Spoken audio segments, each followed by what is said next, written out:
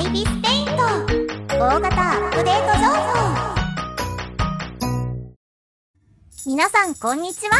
アイビスのミサです。ついにバージョン9.4.0がリリースされましたね。今回も盛りだくさんの内容となっておりますので最後まで見てくれよなそれでは行ってみよう。まずは参照ウィンドウを紹介するよ。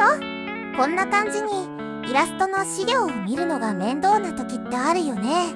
うめんどくせえ。そんな時は新機能の参照ウィンドウを召喚させよう。設定を開いて。参照ウィンドウをオンにすると。なんか追加されたぜ。カメラボタンを押してフォトライブラリーにある参考資料を選ぶぜ。選んだぜ。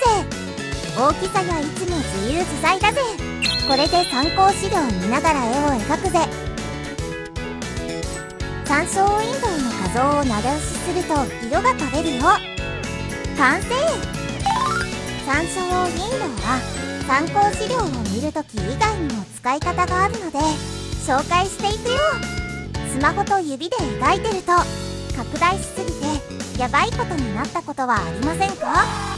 そんな時参照ウィンドウを召喚しておくことで全体を見ながら描けるのでバランスが取りやすいよ。う便利な参照ウィンドウを使ってみてね。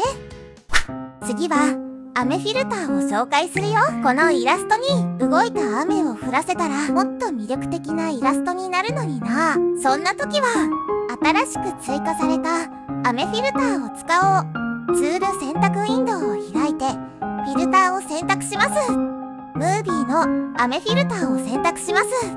すると雨が降ったあスライダーで太さなどが変更できちゃうへ上の動画保存でフォトライブラリーに保存ができるのめっちゃ良き。これからの梅雨のイラストに大活躍なのでは。まあ神機能ですね。太さと速度を調整すると雪みたいになるぜ。イビスペイントで PSD インポートができるようになったので紹介していくよ。試しにクリスタで描いたイラストを PSD 保存してアイビスに送ってみます。iPhone のファイルに PSD ファイルを保存するよ。保存ができたらファイルを開いて先ほど保存した PSD ファイルを長押ししてアイビスを選択すると。アイビスに移動できた。ちゃんとレイヤーデータにね。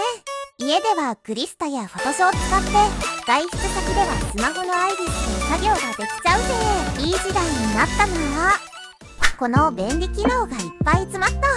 ツール選択ウィンドウの列数を変更できるようになりました。設定を開いて。ツール選択ポップアップの希望列数で列数を選びます。ツール選択のボタン名表示をオフにします。すると。ツール選択ウィンが1列になったね。3列も見やすいね。設定で自分に合ったアイビスペイントにしよう。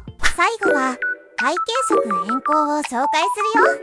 色が薄すぎてどこを塗られているのかわからない時ってありますよね。そんな時は新しく追加された背景色変更を使おう。個人的には濃い緑がくっきり見えるのでおすすめだよ。あ塗り残し発見塗る色によって見えづらかったら色を変えようね。背景色はそのまま背景の色になるぜ。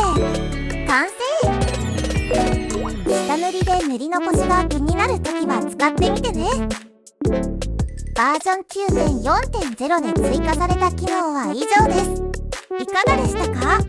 このイラストの背景は雨フィルターを使っていますよ。雨フィルターはいろいろな使い方ができると思うので工夫して使ってみてね。